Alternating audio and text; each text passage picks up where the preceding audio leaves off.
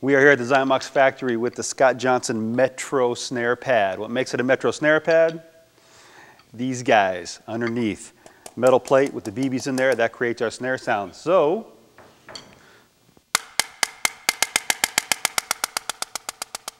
at every level, piano, forte,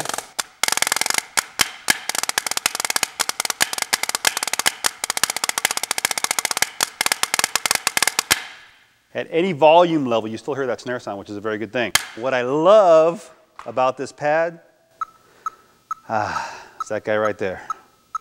Our little tempo guide. He never lies, so we can always rehearse to this thing.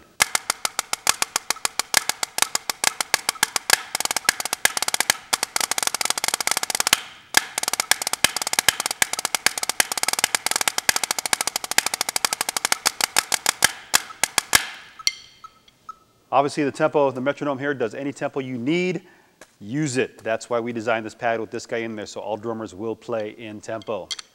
One of my other favorite pads, one that's a little bit quieter. Same concept, same metronome, no snare unit. This is the, the Johnson, the Scott Johnson double-sided double gum pad.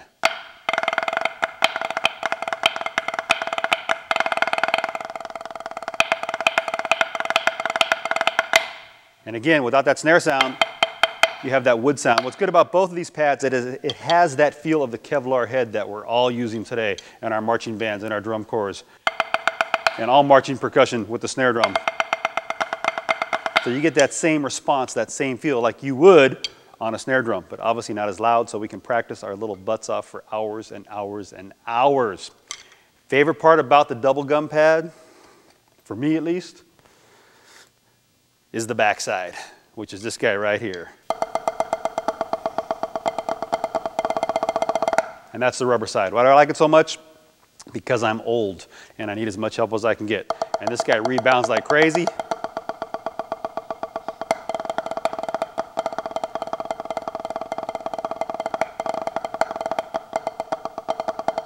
So you can play a little bit quicker. But what else I like about this is when I'm just at home doing some improv, just doing some jamming. The sides,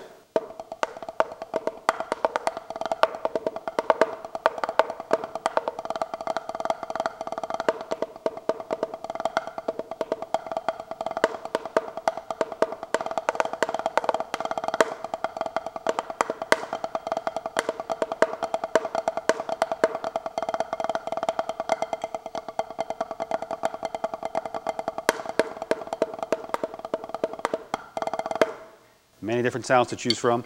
A lot of fun. The new Xymox pads, check them out.